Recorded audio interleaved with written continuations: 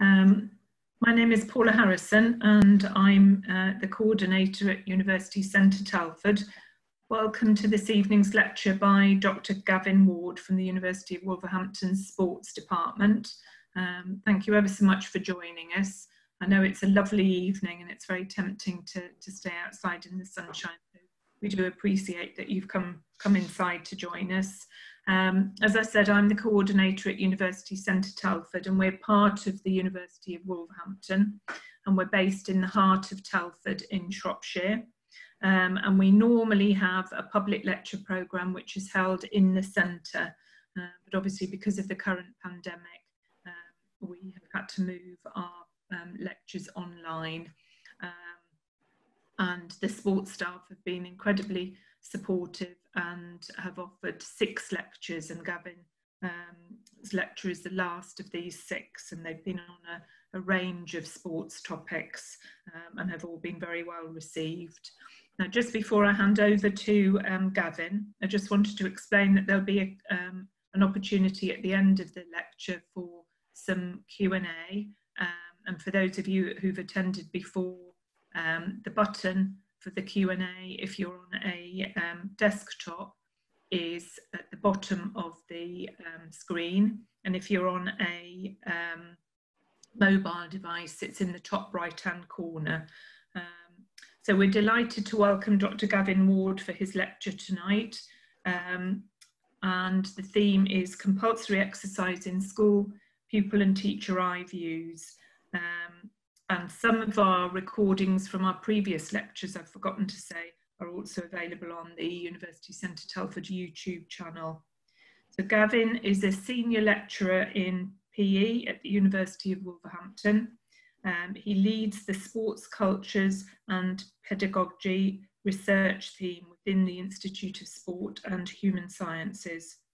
His research interests and recent publications cover uh, physical education, pedagogy, knowledge construction, and socio-cultural investigations in health.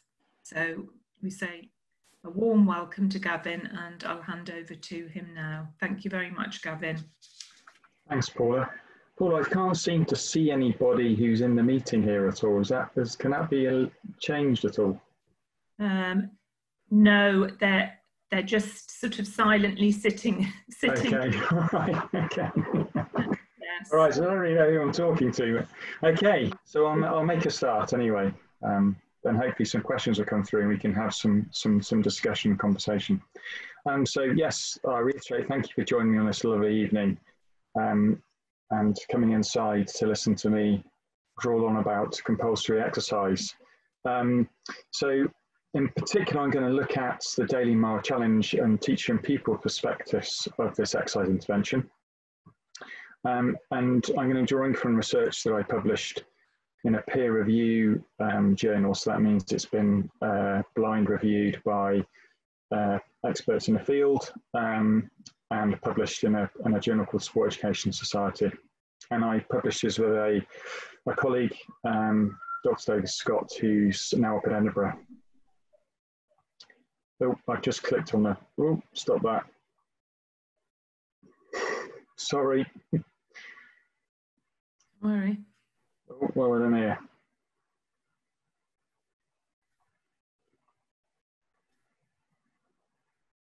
Sorry about that. Okay, can you, can you see that okay, Paula? Yes, yeah, that's fine. Okay. Um, so I'm just going to go back. I need to go back to this slide here. Okay. So when we um, uh, start seeing uh, compulsory exercise in school, there are a number of or two key logical arguments that appear. Um, and they seem to be logical and they seem to be quite simple and the connections seem to be quite clear. And essentially it's that we have children doing um, less exercise, spending more time on screens, um, eating more food, that this is a national problem. And as a consequence, we get overweight children and at worst, children suffering from obesity. And when we have children who are at risk or who do have, um, who are suffering obesity or are overweight, the argument is if we burn the calories through an exercise intervention, they're either going to, so going to solve the issue or in later life they won't necessarily suffer from obesity or this risk, or the risk will be lowered. And this is where my interest in compulsory exercise in school comes in and, and interventions like the Daily Mile Challenge come in. Um, so what I'm going to do is I'm going to, take us on a, on, a, on a critical. Now, in terms of academic work, when we're critical, we don't just slam anything. What we do is we, we question, and we question the assumptions behind arguments, and we question the connections between those arguments. And I'm looking at a critical position on the Daily Mile Challenge, which is a form of compulsory exercise. And this sort of research I did, uh, I wanted to consider how compulsory exercise is experienced by pupils and of course the teachers who are the um, subjects of these whole school interventions. And in doing so, I wanted to consider maybe a different position on physical activity and its role in health and well-being. Now, we'll be questioning these logical arguments, and, and for some of you, it might be quite controversial. And the argument is that child obesity is a national issue, that physical activity will burn the calories, and thus the solution is all, for all pupils to do more exercise in school. Now, I'm not suggesting that child obesity doesn't exist, and I'm not suggesting that physical activity burns calories, and I'm not suggesting that um, physical activity doesn't play a role in, in, in health and well-being but I'm trying to unpick this common held belief that not necessarily is proved in science. So when we start talking about um, physical activity, sport and exercise, and physical education in primary school, we start to conflate, and that means we merge together and we see them as the same thing. These, these categories of, of physical um, activities. So physical education is becomes the same as physical activity, becomes the same as sport, which becomes the same as exercise. And we often see this conflation in the beliefs that people profess when they're involved in the teaching of the subject, often in policy and, and particularly in practice. Now, for me, I'm a physical educationist. I've, I've been a physical educationist all of my career. Um, and they are different movement cultures or ways of or, or of and reasons for people give to engage in, in movement. Okay, and the differences can be identified through the rationales that are provided for children to being tasked to do them and, and the context in which they occur, and also the suggested outcomes um, of these interventions.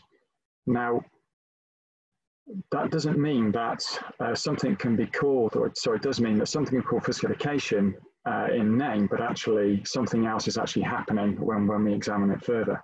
So as an example of this, we've seen um, Joe Wicks has, has uh, been broadcasting on through YouTube and has been titled The Nation's PE Teacher. And it's an example of, of this conflation where we get a very specific form of exercise um, and we then have to question what's the educational value here. So how is this unlocking human growth for, for children? How is offering a different possession on, on exercise? How sustainable is it when we see just copying? And sometimes uh, there's no means to gauge how well children are copying something. So there's very little uh, connection with, with quality. And also, we have to question, particularly the self interest of, of such interventions, because, of course, this person's a businessman and makes money out of his broadcasts, but not necessarily these, but others. And so we have to think carefully about conflating the things, these things together. So for me, trying to find exactly the dividing line to them is, is, is not very fruitful, but we can see where they overlap and where we see difference, we can sort of work out what they are. So, as an example, in physical education, we pupils might create their own forms of exercise to understand what they enjoy about participating in different forms of physical activity. So, the educational element here is this empowering students to take, to bring what they know, to experience what other people know, and then to take a position on that and that creates human growth because it creates uh, a reflection upon your own and others' enjoyment or takes on physical activity. Another example would be in physical education, pupils might explore the movement culture of rugby. So this is a specialized sport. Okay, and in that examination, that specialized sport, they might, for example, look at the relations between the rules and tactical solutions as, as an educational content, or they might look at the physicality of the game and examine ways to create inclusion between children who want that physicality and children who don't. And I think the key thing that for me that, that uh, makes physical education stand out in these respects is every child has to do it. And that in other contexts, that physical activity take, the sport take, the exercise take, they're not necessarily compulsory. So when we're teaching a subject, you have to realize children have to be there.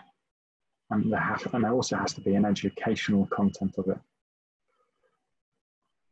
We also need to question uh, bodies of experts who, who uh, thrive off or live off this notion of an obesity epidemic and often who often uh, provide solutions, but necessarily these problems and solutions aren't established in science and there's no direct link between cause and solutions. Um, and that we have a market economy, particularly now in education, and this creates opportunities for us to profit from offering these solutions. Um, and, and by um, subcontracting a problem onto somebody else, um, we can focus on other things. But we have to be really careful about the rationale for that sub subcontraction of, of, of um, physical education and exercise. So when we look at uh, some of the arguments and practice behind, behind um, exercise interventions and behind physical education, we really need to question the, clearly the rationale we need to look at the evidence that supports that rationale. And we also really need to explore the outcomes or the experience offered beyond what might seem to be often self-fulfilling evidence to support continuation, such as they enjoyed it, it was great fun, everyone's happy, let's, let's do it again. We need to cut through some of this rhetoric about uh, assumptions around problems and solutions and for me, this means exploring meanings, exploring experiences and what this says about the interventions for those people who are required to do them. So let's get on to Daily Mile Challenge. Uh, some, some background. Um, it, it's uh, originated in around 2012 uh, from a school in, in Stirling in Scotland, a primary school. Uh, the head teacher at the time was um, responding to um, I think it was a comment made by a, a, a, grandparent picking up one of their grandchildren who said that the children looked unfit. Um, the head teacher then acted on this and thought, you know, I'm create a space in a school day where children can exercise. It's 15 minutes. Um, and the children were encouraged to move around a particular route around a school. And when they averaged out how far they managed to reach in the 15 minutes, it, it, it, turned out to be about a mile, and so the Daily Mile was born. Um, it has a catchy title. Um, they have they it's got its own movement, so it's hosted by a, uh, a sport and physical activity um, agency, um, and 50% of, of, Scottish schools now claim to do the Daily Mile. Um, there are 8,500 schools registered on their um, uh, in their community, and that covers about 150 different countries. So there's a, a bit of a, a bit of a strong movement behind this, and it seems to have taken off. On the website, the messages are very bold, they're very powerful, and there's lots of emotive use of language. Um, it's endorsed by politicians, it's endorsed by sports administrators and sports uh, celebrities.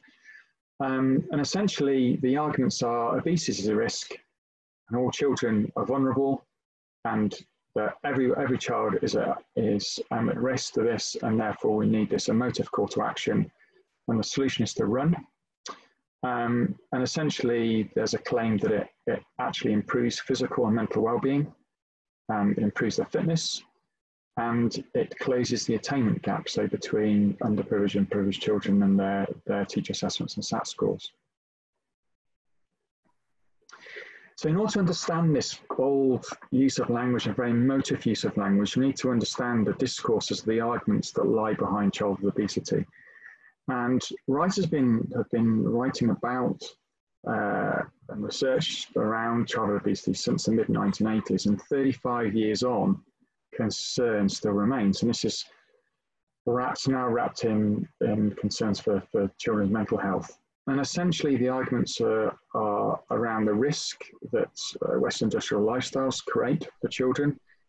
And this, this notion that we have uh, lots more food being eaten, um, and in order to burn that food, we need to exercise.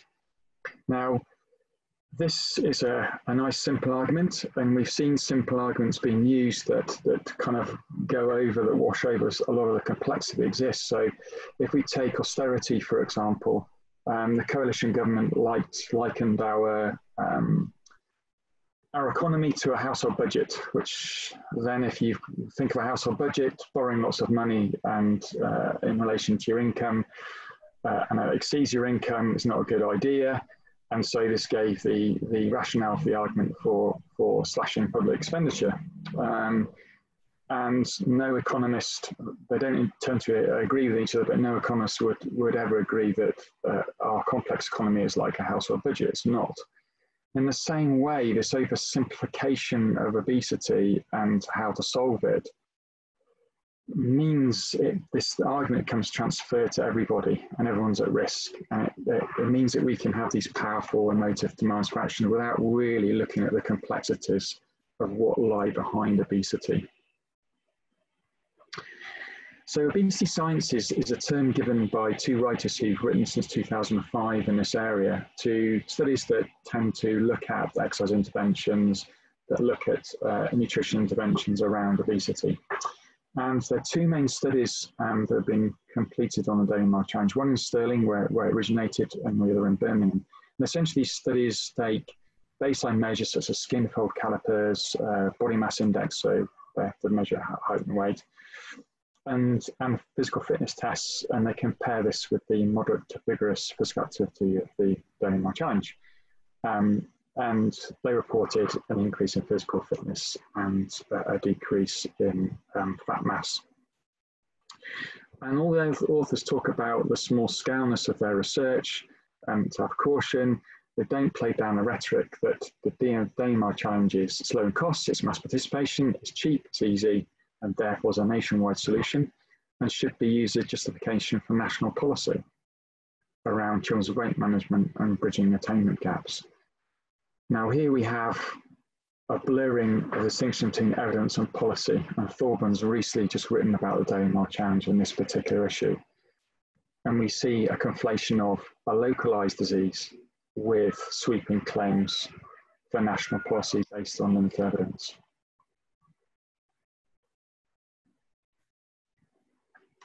So the, the idea of this presentation is not to take on, on uh, obesity science and, and analyse it. It's about looking at uh, children's and teachers' experience of, of, an intervention, but we have to understand that obesity science is not neutral. Um, we've seen this in, in, in reports now around some of the scientific reporting around COVID, where we've had uh, some some scientists claiming that they they repeatedly argued that we were only two weeks behind the spread of the disease in Europe, and other people were arguing four weeks, and the two week people were, were silenced because of the political argument or the the um, the desire to delay us going to lockdown, um, and essentially obesity science is similar. It's science is not neutral, it's political as well, particularly when we have the reporting of, um, of results. And when I looked at uh, a lot of the literature, potential cause and risk change depending upon the research studies, use the phagocytic approaches, it's nutrition, exercise, exercise, and nutrition, nutrition only. Um, and essentially, Gard and Wright particularly argue that when we have a problem, we need to fix it. In order to fix it, we need funding, so that creates uh, an income stream for research. Um, and also policy uh, makers are wanting to show concern and political concern for, for, what might be national issues. And so we, we don't necessarily have this pure purity in uh, researching something and finding a solution. And when we examine childhood obesity, and when I examine the literature around it, it's a real complex function of lived lives and it's not necessarily linked to an activity. Um, so what we have here is an area where there's lots of short-term interventions. There are long-term studies, but lots of short-term interventions. um, and incomplete science is these scientists don't necessarily agree on, on causes and solutions. That said, uh, exercise and whole school exercise interventions are, um, are popular, and um, the Daily Mile Challenge is one of many. Um, and these come from what, what we would term, we can term pathogenic approaches to health. In other words, they're about treating potential risks or, or pathogens that could, that could um, cause damage to the body. So this predominant medicalized view of the body suggests we all need to treat it or need to minimize the risk to health. Now this can narrow uh, our view of the many other resources we draw from. So just looking at the body as a thing to be exercised um, and disciplined, we miss out the everyday health uh, that, that children have and the resource they draw from their friendships, uh, the work they do, the recreation they, they partake in, uh, the mental uh, skills and attributes they have.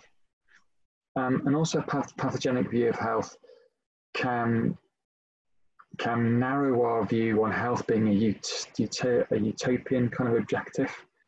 Um, and whether we have an illness or not, we all have a health, a health right now, um, and we need to understand what health goes into making up that health. This doesn't mean I'm, I'm anti-medical. I mean, if I went into hospital, I want to find a, someone who's a, an expert in a pathogenic approach to health. But when we apply these approaches in social health policy, what tends to happen is this narrowness tends to individualize responsibility on the person who's suffering from obesity uh, or has poor health. Otherwise, it's about their bad habits and their bad choices, and this produces bad bodies. And because particularly children can't be entrusted or parents can't be entrusted, we have to have a blanket enforcement of activity. And in essence, they don't get any decision making or agency in, in deciding sort of the shape and nature of the physical activity to do. So we have a we have an exercise intervention imposed upon them and their bodies. So you can probably guess here what I'm trying to do is create this tension between complex lived lives of health and narrow medicalized view of avoiding uh, risk of illness disease. And, and in essence, running for 15 minutes is a very adult way of viewing the world. I mean, anyone who's who who runs or who's tried to do the couch to uh, 5k realizes that actually running is a quite a skillful discipline um, to try and get a training effect. Uh, so if, if, if you're fit and you run a lot, we need to use pacing as a skill to try and get a, a, training effect. It, it, it, it's, and this skill has to be learned. Um, you also have to have a long-term view of what you want to achieve. Um, you've got to be disciplined. And you have to learn mental tricks and, and, and, and psychological ways of dealing with, with the uncomfortableness that running can, can cause.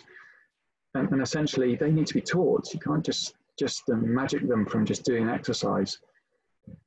So essentially, it's running is actually, if we're not teaching these things, it's, it's about putting adult long term thinking and a view of the world on children for their best in the long term. Um, and essentially, when we come back to it, physical activity doesn't solve obesity.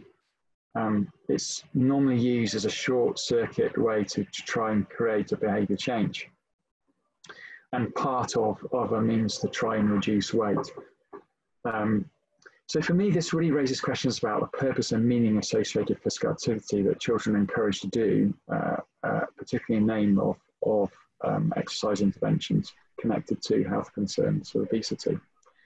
And, and when I examined the literature, there was so little research that actually took the views of the subjects of these interventions, the people, seriously. They, the, the peoples were absent in the research.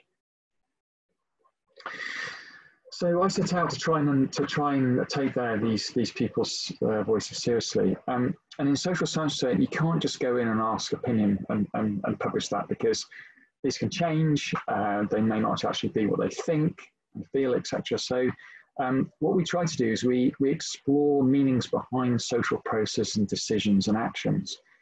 And when we do this, it doesn't become opinion, but more reflection of the lives in relation to the social phenomenon being explored. So in this sense, it was the, the, the reflection of their thoughts and feelings and actions around their compulsory participation in the Daily Mile Challenge. Now, it was a real challenge for me uh, in order to find a position where I could take individual opinions and, and, and views of Daily Mile Challenge, but also see a commonality. Um, and often in, in theory, social theory, uh, we have individual theories or commonality theories. We very rarely bring the two together. So, for an example, a psychology would be quite an individualized way of looking at, at, at an opinion or, or a view about something. Um, and so I needed to find a way in which um, these were mutually constituted together so I could explore them. So, whilst a child might have, children might have different experiences, there would also be a commonality of experience of, of the Mile Challenge. So what I did is I turned to a social ecological framework. In this sense, it sounds confusing, but bear with me. In this sense, pupils both use their experience. So I bring my experience to a situation to help me have an experience, but also work within that experience. So work within what's happening in that experience to create new to create a new experience. So in that sense, pupils become both produced by the experience, but also producing of experience. Okay, so they're, they're mutual. Now, I turn to um, a writer in education um, called John Dewey.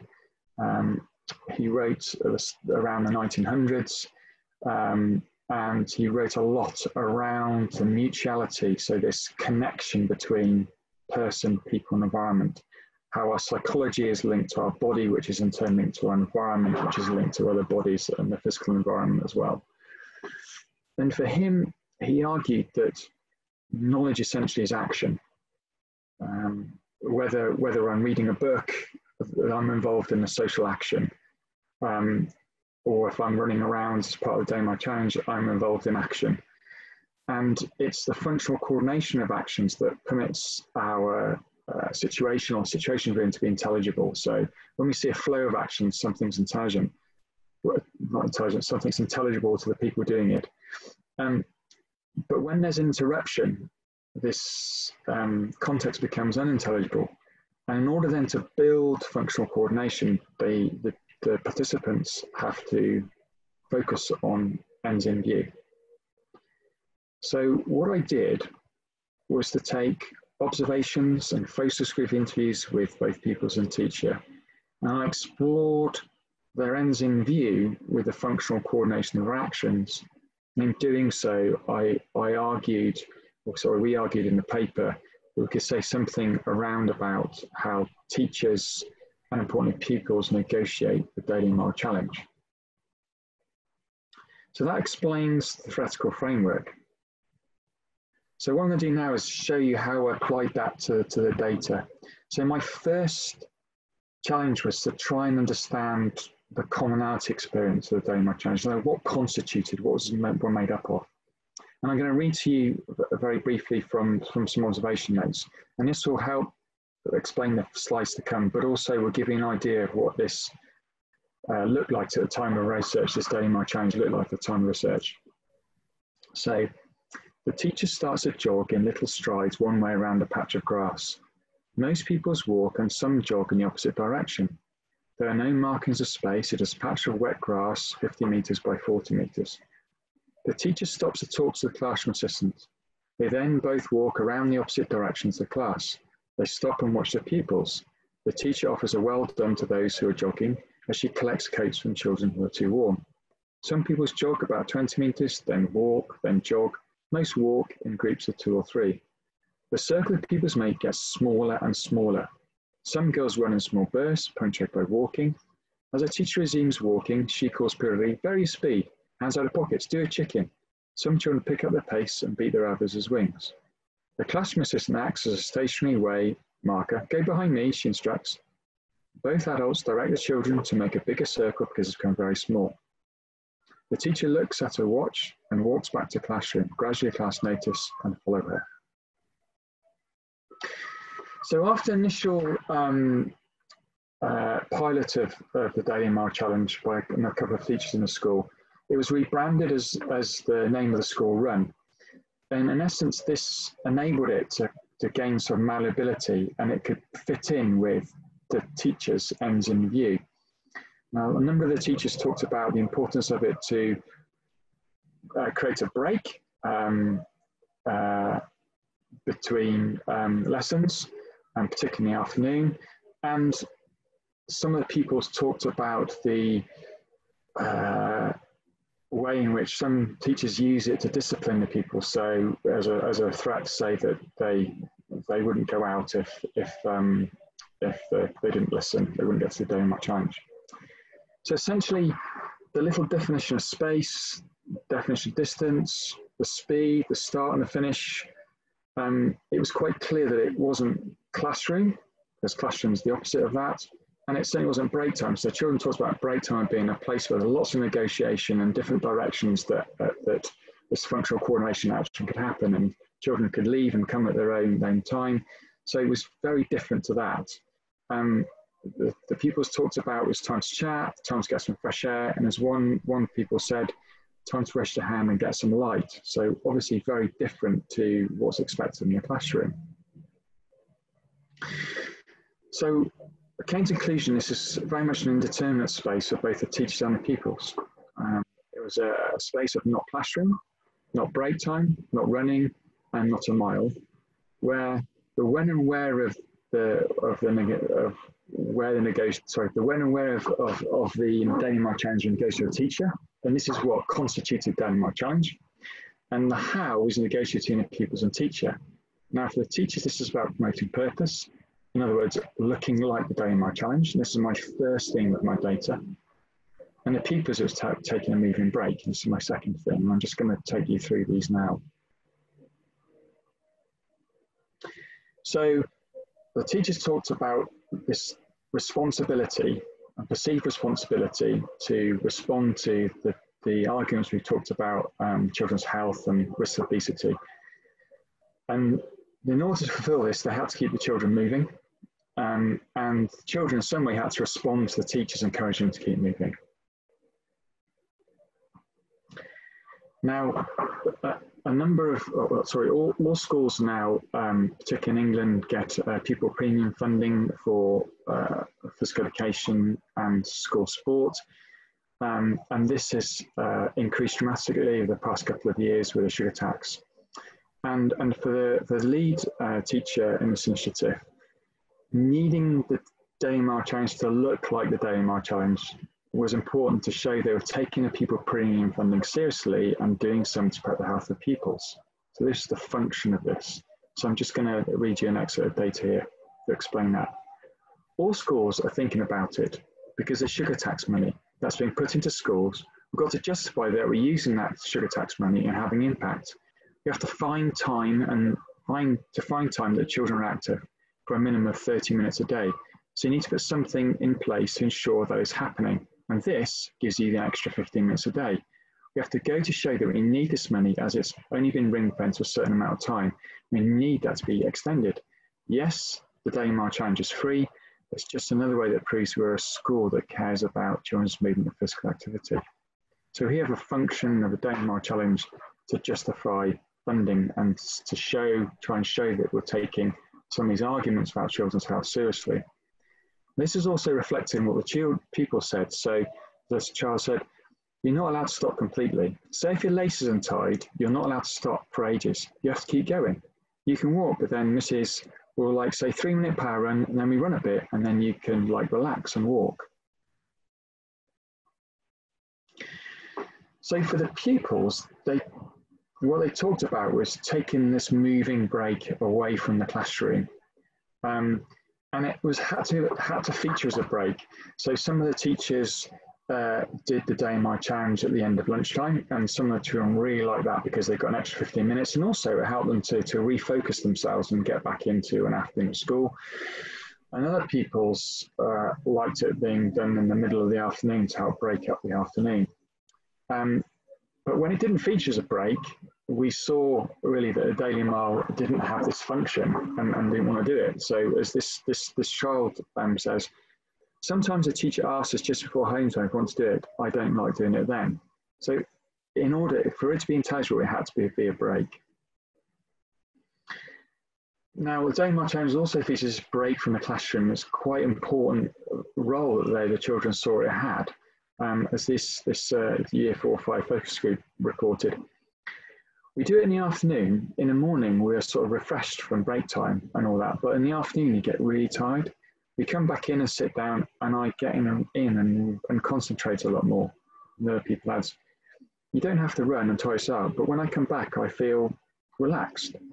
So here we have a function in helping them to break up a, a, a, longer afternoon, but also to come back and return to their work and feel like they could come back to it and give it give it more focus. Now, children obviously bring their own experiences to, to activism. This is an, an example of, of a pupil wanting to try and reenact pacing. Um, so he says, it's really tricky to do it non-stop. They, like the teacher said, it's not about going the fastest, but pacing yourselves and keeping going. I sometimes run, but it's jogging like I like I do with my mum and dad. Sometimes I sort of run the long bits and walk or jog the short bits. It like depends. Most people just walk. But I like to try and jog. I want to do athletics and be in a team, so I like to show my good running. So here we had a, this, this child trying to use what he knew about running to make it intelligible, um, but still find that difficult. Um, and it's a child that's engaged with running outside school. Um, so the, the, pacing obviously wasn't being taught at all, and the, the, the skillfulness of this activity was just being expected of the pupils. Now, with this notion that children were moving at different speeds, some running and jogging, jogging, the children tended to naturally move into pairs or threes, um, very rarely on their own. And it created this sort of inadvertent structure of sociability. And it was that important that, as this child says, when that wasn't there, it was quite a scary place. And she said, if you had a bad lunchtime, there's no one to talk, to walk with, that when you do it, you're all alone. It's sad. You need someone to talk to. So we had this, this creation of this inadvertent space of particular sociability. So in my conclusions, um, I argue that when we explore the meanings generated from um, Daily Mile Challenge, we see different values attributed to it. And, and for these children, it was about outside time with friends and a break from the, classroom were really important health resources. So this Daily Mile Challenge was a really useful health resource to get outside, away from the classroom, and to be with friends and have have have a, a moving sociable break. And this is a break away from quite pressurized uh, classrooms with this inadvertently structure with, with with the time and space for them to to to actually connect with each other rather than the melee and um, complexity of, of break time. So a number of recommendations um, off the back of this research. So as you probably guessed from the, from the start, we need to really evaluate and consider knee-jerk reactions to common discourse about child obesity and, and uh, doing compulsory exercise such as a Daily Mile intervention, um, because the feeling about risk of child obesity doesn't necessarily stack up. Um, and actually, if we, when I went to interviewed the children, they talked a lot about the different healths.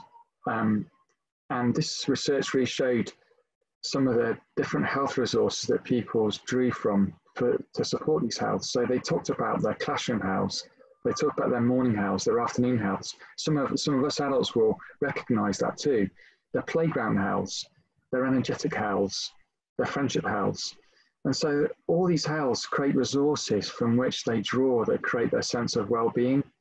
Um, and whilst often adults, and particularly in, with this, um, a lot of the discourses or arguments that are attached to exercise interventions, um, it's argued about physical health, about fitness and, and weight, and the children didn't talk at all about that.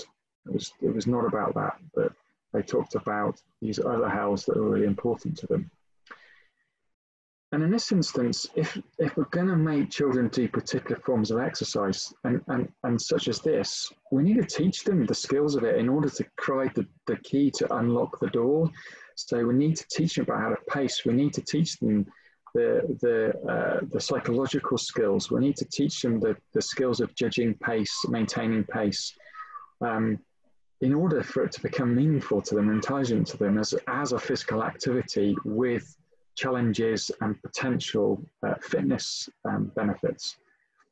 But really in this school, um, it's apparent that just permitting greater pupil voice and the type and form focus away from the classroom would have been ideal opportunity for this to happen, to give some children some ownership about the sorts of things they like doing, they connect with, that they enjoy doing, that are phys- physically active, that are sociable. Some of them might not be sociable, but to provide those those different ideas about what they enjoy doing as as physical activity away away and that's away from classroom work and and really this research for me has helped me understand that that, that there are a number of health resources that children draw from and that create their sense of well-being and it's researching those further and understanding therefore how we can try and strengthen those resources but also widen to give them a more robust um, basis. And that's what, what I'm, I'm going to do uh, in, in the next research project. Um, and that really concludes what I, what I have to say. And here's some extra reading that I, that I drew from for um, this presentation. And I would now welcome some, some questions from you. Okay, thank you very much, Gavin. That was really brilliant, very enlightening. Um, we haven't had any questions posted yet, so anyone wants to have a think about the question now that Gavin is finished, um, Gavin would be delighted, I'm sure, to, to answer anything that you've got to ask.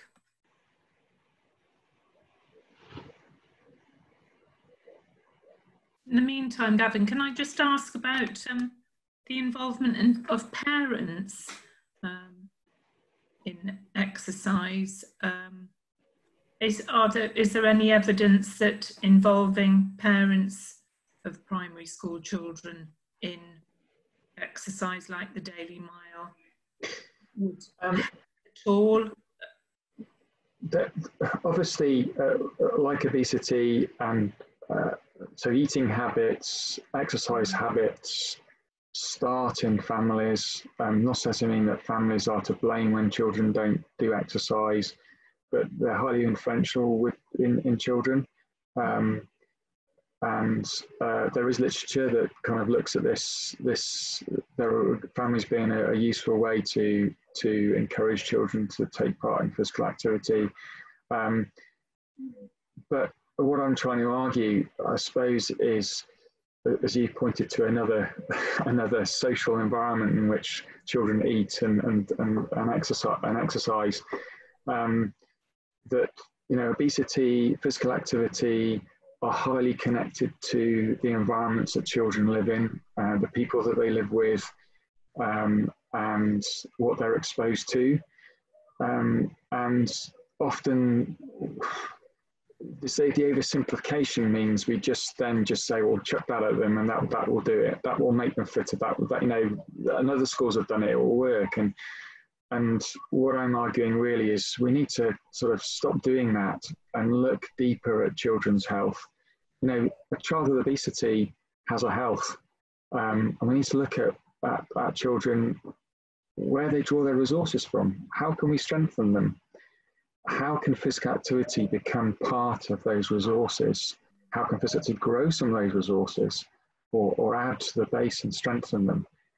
Um, because we often look through the world through our eyes, and our adult world is very much contained in different specialisms, different sciences, and we separate things out. And, and it's not necessarily a lived world, which is a complex world. And, mm. and um, I've done some research um, uh, last year with my own students and their particular uh, experiences of doing gymnastics and dancing in, in, the lectures that we do in the modules on our course. And what was what came forth was a really fascinating way in which uh, which students coped with the stress of, of assessments. Um, and, and, I, and I used the theoretical perspective though it was about lived experience. And this really helped a world into a view that you wouldn't necessarily find out by having conversations with people. And if you, you explore these, you realize how, how ha- people have habits of dealing with things, how they view themselves and what they're capable of doing. And, and so this, in this complexity, we can, we can understand what we can do to support students. And, and this, this is what, what I found how to support them um, as learners in, in a higher educational environment. Um, and so the same comes with trying to develop health. It's, it's, it's not looking at health as something that is just our physicality or absence of disease. Um, and often when we, when, we, when we ask questions about health, that's what people retreat to because that's often what we talk about. When you ask them about the things about, about what makes them happy, what makes them feel good, uh, what they enjoy doing with their time, um, uh, about um, what makes them feel strong, what makes them feel wor- of worth. This is where we start seeing more things that actually that our health, but we, we don't ask those questions. Mm. It's giving them a voice, isn't it? And listening to that voice that's important. Mm. Yeah. Thank you. Um. Everybody is very shy again tonight. No, no questions posed at the moment. Um, okay. Another minute or so. Um, check the chat as well. Nothing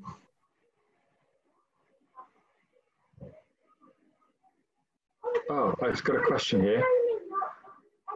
How are developed countries reacting to issue obesity and physical activities? Well, I'd say we're, we're a developed country, and what, what we've tried to do is we've seen obesity as a disease that, that can be treated through physical activity. And uh, the, the simplicity of looking at obesity like that, uh, there are a lot of research papers that have done exercise interventions, just diet interventions, exercise and diet interventions, um, that have looked at different dosages of physical activity. Um, but the longevity of it, particularly with obese patients, what I've what I've what I've read and my understanding of it is that um, often weight goes back on and physical activity doesn't necessarily adherence to physical activity doesn't necessarily continue. And it's a short-term thing, but it can be used to try and short-circuit behaviour.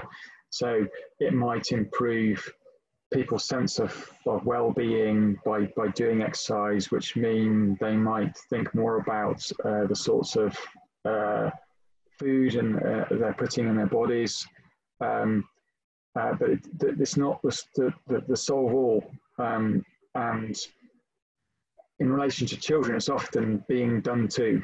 we do things to kids for their long-term benefit. We, we're not, we often think about children as, as uh, incomplete and actually they're, they're, they are complete, they're, they're growing, they're becoming. Um, you know, I saw some, I went to um, pick up my children from school today uh, and I saw some children um, playing in, the, in a kind of a local park area and thought, oh, look at them, you know, no cares in the world. And, you know, I've got all these things going on at work and all these things happening for us. And actually I had to stop myself and say, no, they do have cares of the world. Um, they do have concerns, they do have worries. They're just not overburdened by the, our same worries and they don't have the, the huge responsibilities we have, but they still have responsibilities they're, they're, they're, becoming people. They're not absence of, of the way we live lives. As adults, we forget that. And I think in terms of children, it's when we see them as becoming, we, we, we therefore then will, will, will respect their opinion and ask them and give them control over what they do, challenge them. I mean, you know, I'm not saying that sex as the Daily Mile is, is not useful. Um, it could be used, used a really useful tool to to uh, pupils examine the physical activity, you know, and, and why they, you know, about the challenge of continuous activity, and that actually we don't need to run. uh, we can just get as, as good, good exercise from and enjoy ourselves and talk to people and feel good about ourselves through walking. It's mm-hmm. this simplicity of the link between energy out and food in, and we're going to burn the calories, and that's the solution. That's the kind of simplicity of the argument that, that, that, I, I started with at the beginning. It's not as simple as that. There's a lot of other complex things that get in the way. that, that produce uh, um, obesity. Okay, thank you, Gavin. That was done. Okay. Thank you for that question, by the way. Yes. um, nothing else coming up at the moment. Okay. I think that might be might be all. Um, I wonder, Gavin, if people could have your email address. Certainly, yes. So it's, it's very easy. It's Gavin, G-A-V-I-N, dot Ward, W-A-R-D. So that's Gavin dot Ward. Um, and the address of the university is um, at wlv.ac.uk. That's at wlv.ac.uk. Um, and I'm more than happy to to engage in further discussions and, and support where, where necessary. Mm -hmm. So if people are from schools or colleges? Certainly, certainly, yeah, sure. That's brilliant. Sure. Okay, thank you. And just while you're still there, we've got um, a few more lectures coming up. Um, obviously, we've mentioned the six in sport, and I'm sure sports staff will do more lectures in the future. Um, we've got um, a well-being and yoga session um, tomorrow evening, which is on Zoom and can be found on the University Centre Telford website and Facebook page. Um, and then next week, for something completely different, we've got um, a lecture on voodoo by one of the lecturers from the School of Art. And then coming up, there's also a fake news lecture as well. So obviously, everybody is more than welcome to attend um, those lectures. So um, just have one last look at the Q&A. Um, so there's nothing there. So I think um, if we draw it to a close, and oh. I'd say thank you ever so much, Gavin. Um, thank you for the opportunity. Really interesting. Um, I've never thought of the Daily Mile Challenge in, in those terms. Always thought of it as just just good, but I think um, that was really interesting to view it from different points of view. So thank you very much. That was brilliant. And thank you very much to all of those who've joined us tonight. Yes. Yeah, thank you too. Thank okay. you very much. Bye bye for now. Bye bye. Bye-bye.